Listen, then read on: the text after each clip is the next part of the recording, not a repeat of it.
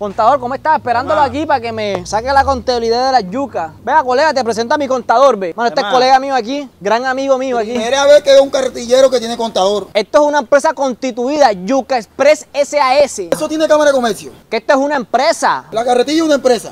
¿Cuántas yucas hay ahí? Una, dos, tres, cuatro, cinco. Eres un excelente contador. Bueno, si quieres aprovecha que está el contador aquí para que te trabaje, te lleve la contabilidad de la yuca. No necesito contador. Y yo cobro barato, yo cobro 2.700.000. No vendo ni 500 mil pesos. Tú no has declarado renta de toda la venta de yuca que has hecho este año. ¿Qué renta si no he vendido? ¿Tú sabes cuánto le debes a la DIAN por ese poco yuca? Yo no como de DIAN, no como de nada. Ahora que aparezca la DIAN y te meta la yuca en el hopo. ¿Qué Ahí me la meta? Ey, brother, esa yuca que te compré ahorita estaba buena. Véndeme Aquí tengo 5 kilos. Papi, mira, la yuca que te salga rucha, el vale te la cambia, ¿oíste? Yo te estoy vendiendo la yuca. ¿Qué voy a cambiar yo si no vendí yuca? Tú lo que eres un descarado. Me dañaste el día. Voy a cultivar una yuca para venir mañana.